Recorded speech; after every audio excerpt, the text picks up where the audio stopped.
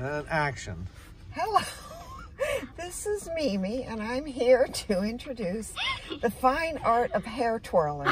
It's very important that you do it correctly to get the maximum sensation. Now, to start, grab a piece of hair, just the right amount, enough to move through your fingers, but not too bulky. Now begin to just spin it on a finger, like just let yourself find the most comfortable finger, okay? That's what you do. Now, my technique is to wrap it around a thumb and then thread it through like as if I'm making a slip knot. Okay, you have to do that towards camera though, because the thumb is going this away. This is not working for me. All right, hold on. I'm caught oh, there. Now I can see it. This is not working. Okay, now I got some through, and you see, then you can sort of play with what you push through.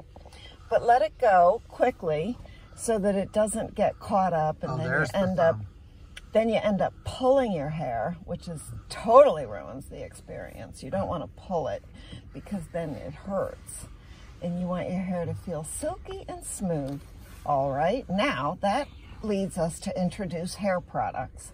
It's very important to use a conditioner so that your hair is silky and smooth, and then you get the maximum twirl and the maximum amount of you know, slipping through the fingers and it feels oh so lovely. All right, well, it's really a very simple art, but you will find that if you do this regularly through the day, that it helps to reduce tension, it helps you to think clearly and focus on the task at hand, and besides that, you'll just feel good all around. So thank you, it's free, it's fun, and it's fabulous. Signing out, Mimi. Bye. All right.